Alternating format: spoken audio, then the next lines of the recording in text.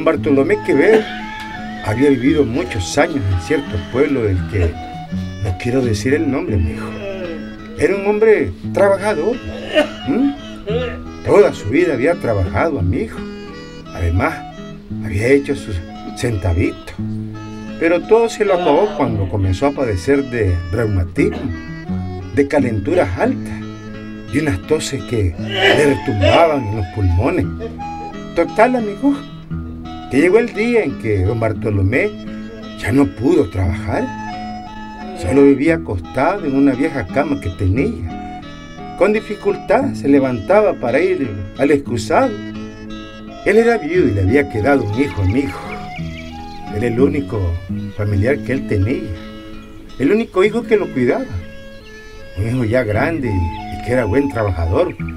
Hombre honrado, gracioso casado con una muchacha bonita que vivía ahí con ellos.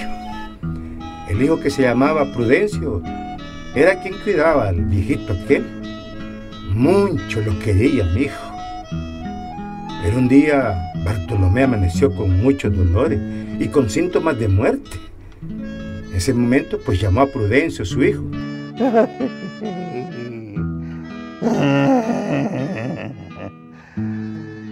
Prudencio. Ah, Prudencio. Eh, tata. Ya voy. Vení por acá, hombre. ¿Qué tal, tata? Ay, no me siento. Me siento muy mal, hombre. Me siento muy mal, hombre. ¿Qué le llamó al doctor, tata? Ay, no, qué doctor ni qué diablo, hombre, no, hombre. Ya no la estoy viendo ahí, jodido, mira. Ahí está con la guadaña lista para pegarme el mecatazo, hombre. Ay, hombre, jodido. Y esta es la última, mijo. Esta es la última ya, pero te llamé. ¿Sabes por qué? Dígame, tata. Porque te voy a heredar, jodido. Y dadme quieta si nosotros no tenemos nada. Dígame, tatita. Te voy a heredar y te voy a dar una cosa que la vas a creer imposible. Hasta te vas a reír, te lo dejo, Dios, pero te la tengo que dejar porque es un gran tesoro. Es un gran tesoro el que te voy a dejar, hombre. Tesoro. Un tesoro. Usted está bromeando, tatita. ¿Cómo No, bromeando? No, ¿Y Ay, yo no creo, güey. Ya ve. ¿Y cuándo me has visto bromear a mi jodido? Te voy a dejar un gran tesoro. Tesoro, pero ¿de, de dónde, tata? Mira, Ujú. mira. Sí. Ese gran tesoro. Eh, eh, ese gallo. Ese gallo. eh, eh, Ese gallo lo crié desde que era pollito.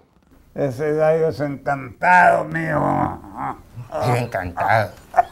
No sé ni para sopa, Es ¿verdad? encantado, hombre, lo que le estoy diciendo, hombre. ¿Verdad? Es un gallo que nunca canta, jodido. Pero si ese gallo ni para No, sopa no sirve, canta, hombre. aunque canten los de afuera. Él no canta, jodido. Es lo único. Mira, fíjate bien, fíjate bien en lo que te voy a decir.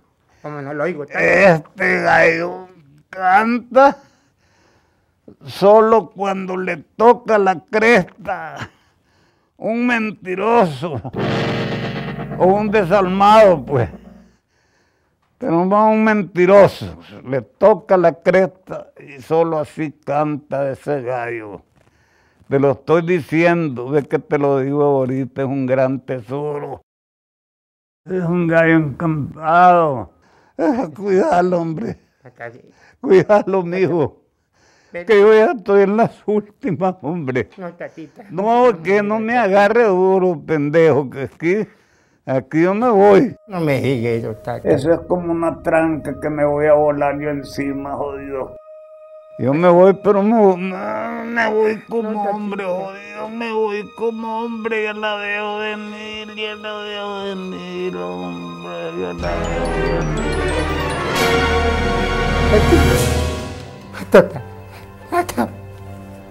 Tata de mi güey, tata de mi güey. Mi, mi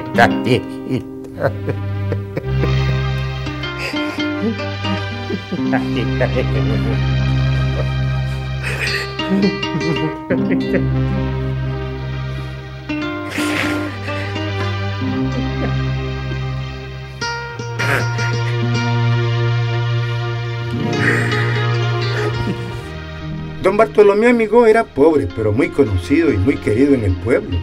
¿Mm? Sí, de modo que la noticia se regó como, como pólvora, amigo. Todo el pueblo supo que don Bartolomé se había muerto. El curita, el alcalde, el comandante, el carpintero y el herrero, y también la costurera. Todo el mundo supo. Y naturalmente, inmediatamente se prepararon para ir a darle el pésame a Prudencio, el hijo de don Bartolomé. Oigamos, sí, oigámoslo.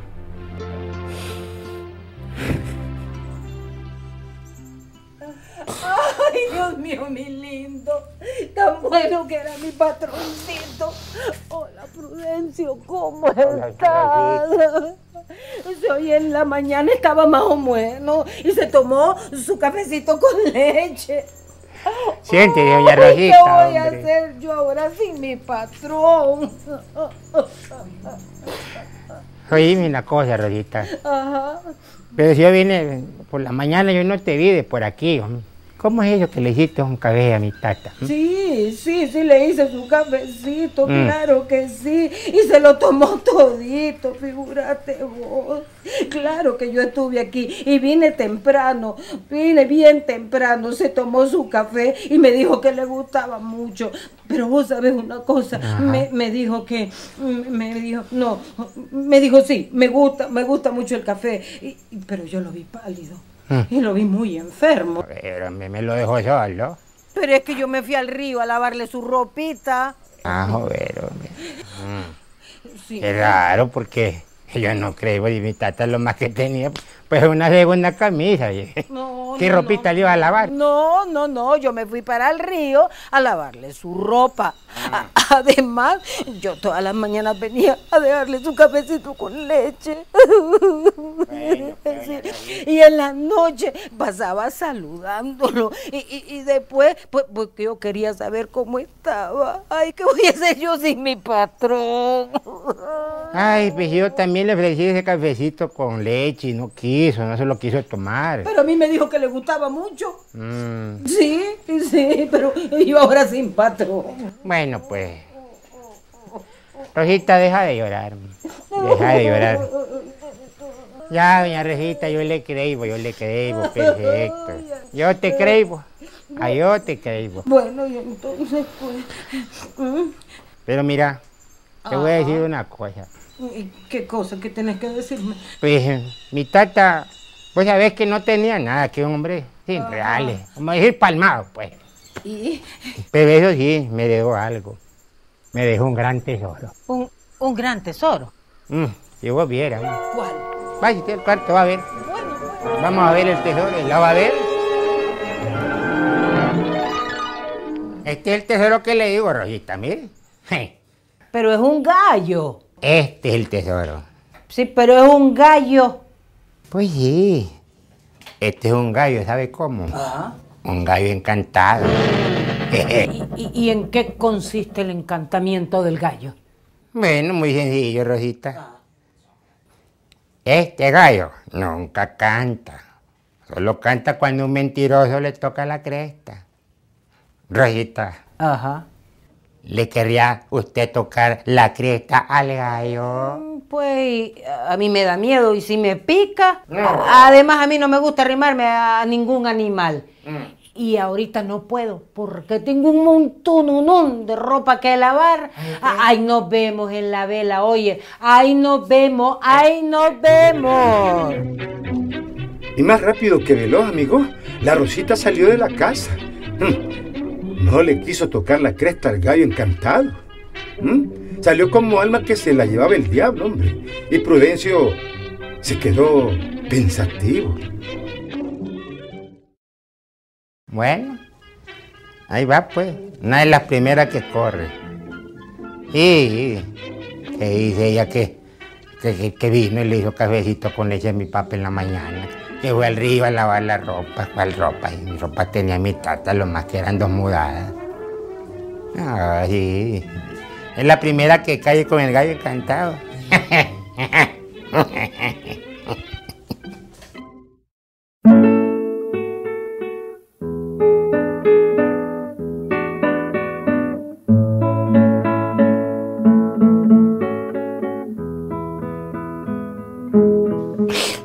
Siento mucho, Prudencio. Gracias, señor alcalde, hombre. Siento mucho. Siéntese, hombre. Siento mucho.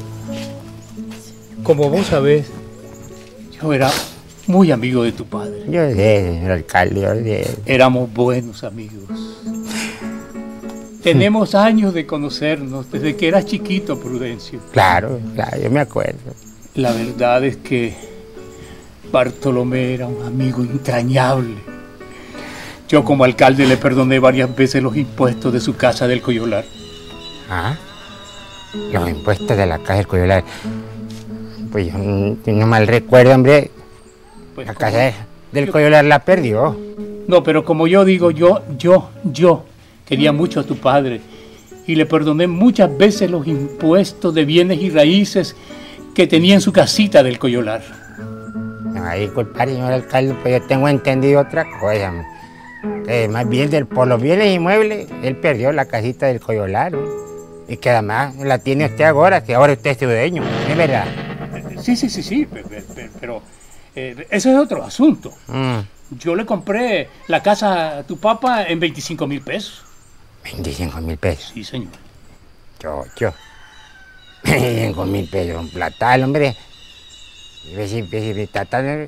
Ni siquiera pudo, eh, digamos, conocer 25 pesos juntos, casi en sus últimos años. Pues así como te lo cuento, Prudencio, le di 25 mil pesos constantes y sonantes.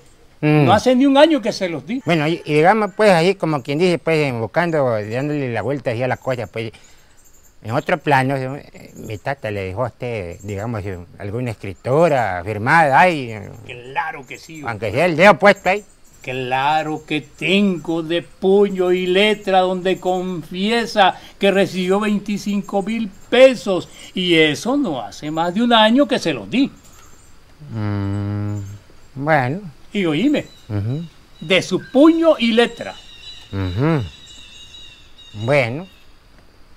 Bueno, y así es la cosa, como usted lo dice, pues, señor alcalde, pues, usted tiene razón. Y ahí, pues, Eh. Alcalde, ¿ah? alcalde, alcalde. pues yo le digo alcalde porque usted es leído, ha estudiado. Yo no, yo soy indio patarrajada. Sí, pero eso de alcaldo parece caldo de pollo, pero no. Alcalde. Ajá, ¿qué Bueno, que me eh. vas a enseñar? Hablando de pollo, pasemos, le voy a enseñar algo que tengo ahí. Ajá. Un tesoro que me dejó mi tata. Pasemos. Venga, pues dígame. Bueno, Sígame. Sí, señor alcalde. Pase. Pase, señor alcalde. Pase.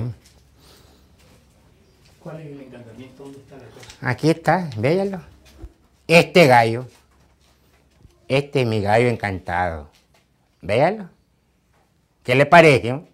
Un gallo encantado, no entiendo. Este es el tesoro que me dejó mi tata. ¿Y cuál es el encantamiento de este gallo feo, desplumado? Que tan viejo se está muriendo. Y no sirve ni para comérselo en sopa. No, pues para comerme en sopa me lo como, digamos, una gallinita que tiene hermosa, una mi vecina, ya, de entre tres casas de por aquí, Ajá. que está bien sabrosa. ¿ah? Es de su hijo, yo, pero, pero dije que ya me lo puede hacer. ¿no? Pero este gallo no se puede, ¿Por qué? porque es un gallo encantado. Es un gallo encantado, señor alcalde. Gallo encantado. Así es. Todo viejo y desplumado. Así como lo oye, todavía es desplomado, pero es un gallo encantado. No entiendo. Sí, porque me lo heredó mi tata y me dijo que era encantado. ¿Y en qué consiste el encantamiento? Decime. Bueno, es que mire, Este gallo no canta. Solo canta cuando un mentiroso le toca la cresta. El mismo gallo lo descubre. Sí. Por eso es que le digo que es un gallo encantado. A este, señor alcalde, aquí entre no, pues entre el tabaco de la desconfianza. ¿Le gustaría a usted, digamos allí, pues, como de atreviéndose, como que queriendo, como que se atrevería usted a tocarle la cresta a este gallo encantado? Yo. Bueno, Prudencio. Yo le toco la cresta a cualquier gallo. Pero el médico me ha prohibido acercarme a ningún gallinero. Eso me, me da alergia. Además, tengo muchas cosas que hacer ahorita en las oficinas de la alcaldía. Están esperando. Ah. Ahí vuelvo más luego. Pero, pero, Nos vemos en el velorio. pero no le, no le, Ahí regreso. tóquele la cresta al gallo, hombre. Señor alcalde. El alcalde, amigo, salió tan rápido como pudo también. No le quiso tocar la cresta al gallo. Y Prudencio, pensativo, se dijo para sí. Bueno. Ay, mi tata tenía razón, oiga. Ya van dos. Hmm.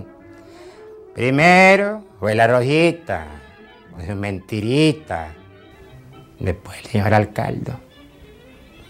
Realmente que este gallo es un tesoro. Es un tesoro y además un gallo encantado.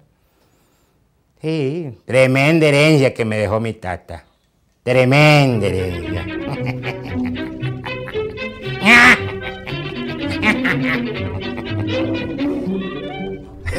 Francamente, amigo, que aquel gallo era un tesoro.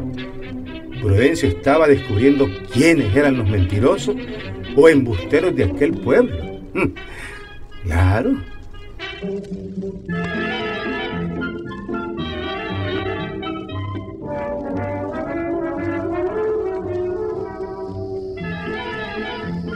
¿El padrino Calixto?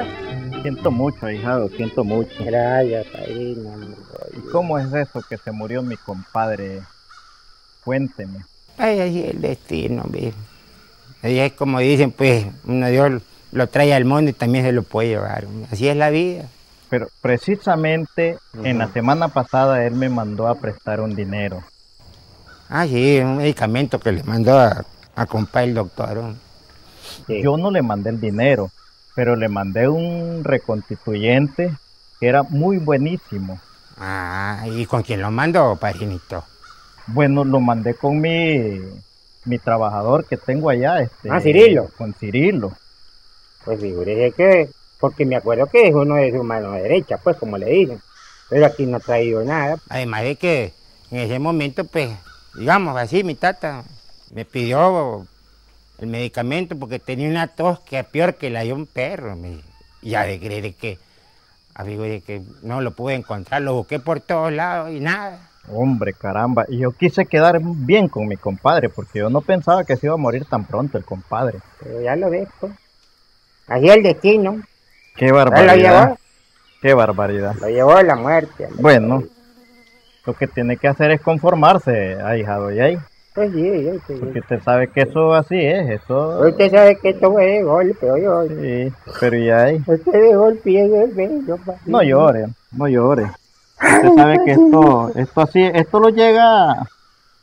Todos pasamos por eso, ahijado, todos pasamos por eso. Gracias, padrinito. Gracias por acompañarlo en mi dolor, hombre. Yo mucho quería a mi compadre. No solo el mes pasado, le presté 50 pesos que me solicitó. Entonces, padrino, mi tata murió endeudado, ¿ah? Hombre, caramba, entonces su alma va a andar en pena. Sí, porque cuando uno se endeuda y muere, pues, pues su alma queda en pena, anda penando. No hay cuidado. Yo le perdono la deuda a mi compadre. Sí, yo sí, hombre. Es más, yo mucho lo quería, mi compadre. ¿Dónde que yo le voy a cobrar esos 50 pesos a mi compadre? Jamás, no se preocupe por eso. Qué curioso, hombre. Mi tata también me contó de que había mandado a prestarle 25 pesos, hombre. y que usted pues no se lo había podido prestar, ¿no? Qué raro. ¿Dónde que yo le iba a negar al compadre esos 25 pesos si él era mi compadre más querido que yo tenía? Bueno, Padrino Calixto, ahí dejémoslo pues, hombre. Eh, Dejémoslo eso así, hombre. Pero ¿sabe qué? Quiero decirle algo. hombre. Mi tata me dejó un tesoro. Un tesoro me dejó. Un tesoro. Pues sí, yo. Y es que él tenía alguna botija enterrada. Mm, Pues no una botija exactamente, pues, pero es un tesoro. Le quiere dar su miradita, le quiere dar su, su vistadita, como dicen. ¿Ah? Me gustaría ver ese tesoro. Pasemos, le voy a aquí está.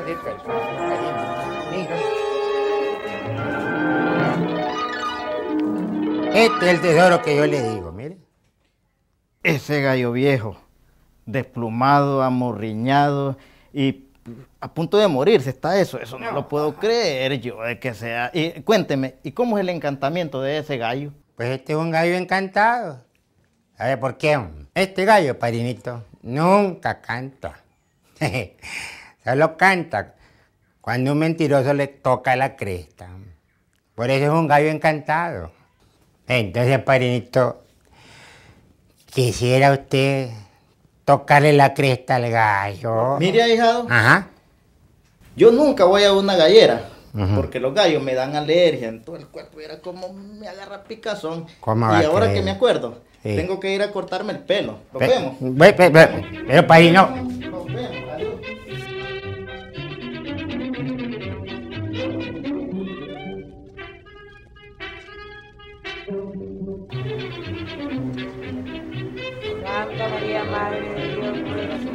Pasó el velorio, amigo. Amaneció el día siguiente. Pasó el entierro. Todo el pueblo llegó a dar el pésame. Pero nadie, mijo. Nadie quiso tocarle la cresta al gallo encantado. ¿Mm? Cuando pasó el entierro, amigo, se quedaron solos Prudencio y su mujer. Ella era una mujer hermosa, coquetona. Le gustaba que le piropearan en la calle. ¿Mm? Sí, en fin, era una mujer alegre y coqueteaba con el telegrafista del pueblo. ¿Mm? No me creyé. Creyéme el hombre. Fue entonces cuando Prudencio enseñó aquel tesoro. Aquel gallo encantado, mijo. Ay, oiga, este es un gran tesoro que me dejó mi tata, son babosadas. Es un gran tesoro. Ay, tremenda herencia. Morosita, morosita. ¿Ya viste el gran tesoro que nos dejó mi tata? ¿Mm? ¿Cuál tesoro, niño? Que yo no lo veo. Eh, Pues este gallo encantado. Mirad. Es un gallo, ¿ves? Que te dice todo lo que vos le pregunté, son babosadas. Así es que todos los que vinieron ahora a la vela mi tata, algunos se le corrieron. ¿Sabes cuál es el encantamiento? Este gallo no canta. Ajá. Pero aquel que dice mentira, si le toca la cresta y canta es mentiroso. Aquel que le toca la cresta al gallo era mentiroso. Mm, ninguno se le acercó. Ah, ya, pero sapito moro. ¿No le gustaría tocarle vos la cresta al gallo?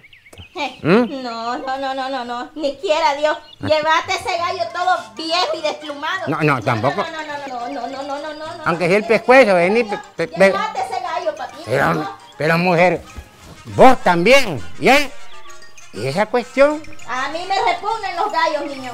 No me digas. Yo creí vos que vos me saliste igual a los demás. Pues si el gallo. repugnan los gallos. No, hombre. Ah, eh, y, oh, uh, ah. ¿Ves que? Ay, ¿ves que? A ver qué es esto, hombre. Veo. Eh, tenía razón mi tata. Tenía razón. Hijo mío, ese gallo es un gallo cualquiera. No canta nunca. Ese gallo no canta. Los que cantan, ¿sabes quiénes son? Los que no quieren tocarle la cresta. Y ahí te dejo un gran tesoro. Conoces a la humanidad.